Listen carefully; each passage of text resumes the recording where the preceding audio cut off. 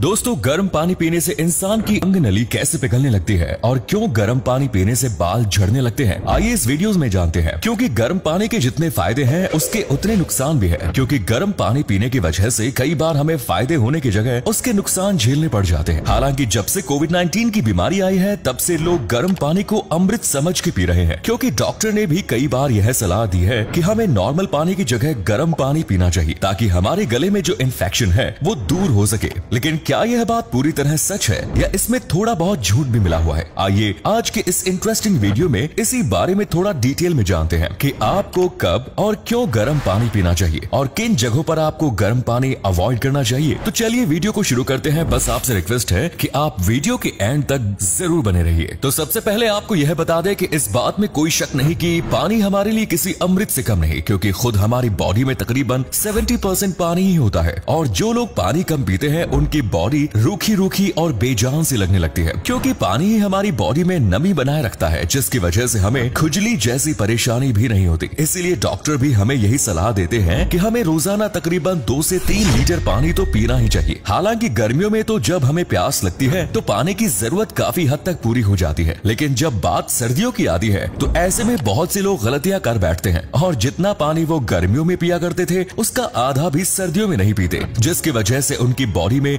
रूखापन आ जाता है और जगह जगह खुजली की शिकायत होने लगती है। लेकिन बहुत से लोगों के मन में यह गलत फहमी होती है कि अगर वो बहुत ज़्यादा पानी पियेंगे तो इससे उन्हें कोई नुकसान नहीं होगा, बल्कि इससे उन्हें फ़ायदा ही होगा। लेकिन ये बात पूरी तरह से सच नहीं है, क्योंकि ये बात आप भी जानते हैं कि किसी चीज़ को अगर लिमिट से ज़्यादा किया जाता है तो उसके खतरनाक दुष्प्रभाव हमें झेलने पड़ जाते हैं। फिर बात चाहे खाने पीने की हो, चीज़ों की हो या दवाइयों की हो, या फिर यहाँ तक की पानी की भी क्यों ना हो, अगर आप ज़रूरत से ज़्यादा पानी पी रहे हैं तो इससे आपको काफ़ी नुकसान हो सकता है। वहीं अगर गर्म पानी पीने की बात की जाए तो इसके बारे में आपको थोड़ा और डिटेल में समझने की ज़रूरत है, क्योंकि जब हम गर्म पानी पीते हैं तो इससे हमारी बॉडी के टेम्परेचर में काफ़ी उतार चढ़ाव होता है। और आपको जानकर हैरानी होगी कि अगर आप लगातार गर्म पानी पीते रहेंगे तो इससे आपकी किडनी को फ़ंक्शन करने में भी काफ़ी ज़्यादा परेशानी होगी। शायद आप ये बात तो जानते ही हो कि अगर आप एक हेल्दी लाइफ जीना चाहते हैं तो उसमें किडनी का पूरी तरह फिट होना बहुत ज़्यादा ज़रूरी है, क्योंकि किडनी ही हमारी बॉडी का वो पार्ट है, जो हमारी बॉडी से सारी गंदगी बाहर निकालती है। ऐसे में अगर आप गर्म पानी पीते हैं तो इससे किडनी के ऊपर बहुत बुरा असर पड़ता है। और कई रिसर्च में तो डॉक्टर भी इस बात को मान चुके हैं कि ज़्यादा गर्म पानी पीने से किडनी को काफ़ी नुकसान झेलना पड़ सकता है। इसीलिए अगर आप गर्म पानी पीते हैं तो यह कोशिश करें कि पानी का टेम्परेचर बहुत ज़्यादा हाई ना हो। आप चाहे तो गुनगुने पानी का इस्तेमाल कर सकते हैं, और उसको भी आपको लिमिट में इस्तेमाल करना है। यानी जब आपको प्यास लगे तो उस दौरान आप गुनगुने पानी का इस्तेमाल कर सकते हैं। सिर्फ़ यही नहीं, अगर आप काफ़ी लंबे समय से गर्म पानी पीते आ रहे हैं तो इससे आपके पेट में अल्सर जैसी बीमारी का सामना भी करना पड़ सकता है, क्योंकि हमारी बॉडी के अंदर जो छोटे छोटे सेल्स होते हैं, वो बहुत ज़्यादा सेंसिटिव होते हैं। और जब आप लगातार गर्म पानी पीते रहेंगे तो इससे आपके पेट के अंदर छाले पड़ने लगेंगे, जिसकी वजह से बहुत से लोगों को जलन महसूस होती। उन्हें ऐसा लगता है कि जैसे उनके पेट में आग लग रही हो। हालाँकि इसके पीछे और भी कई रीजन हो सकते हैं, लेकिन गर्म पानी पीना भी इसका एक बहुत बड़ा कारण बन सकता है। इसीलिए हमेशा कोशिश करें कि पानी हमेशा गुनगुना या बहुत कम टेम्परेचर वाला हो। इससे आप काफ़ी हद तक ये समझ पा रहे होंगे कि जब आप गर्म पानी पी नहीं सकते तो